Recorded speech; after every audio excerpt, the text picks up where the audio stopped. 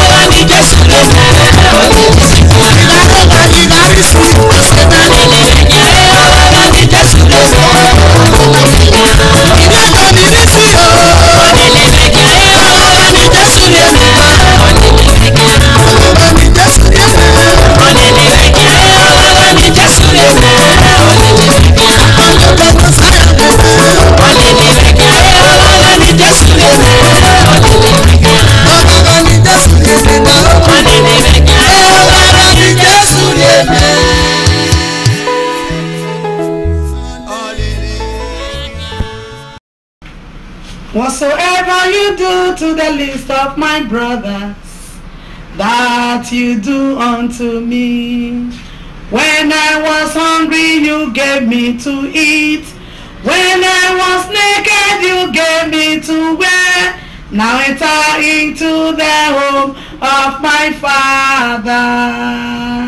I'm introducing to you a little kindness ministry. Let's show a little kindness to the orphans, to the needy, to the hopeless, A Little Kindness Ministry is an arm of His Praise Gospel Ministry, a vision that God gave to me some years ago, Quiet Ministry. I know you are there watching this video clip. The Lord has laid in your hearts to help this once. Please show a little kindness. Your cash, your clothes, your food items can put a smile on somebody's face. There are children that cannot pay their school fees. There are children that does not have clothes to wear.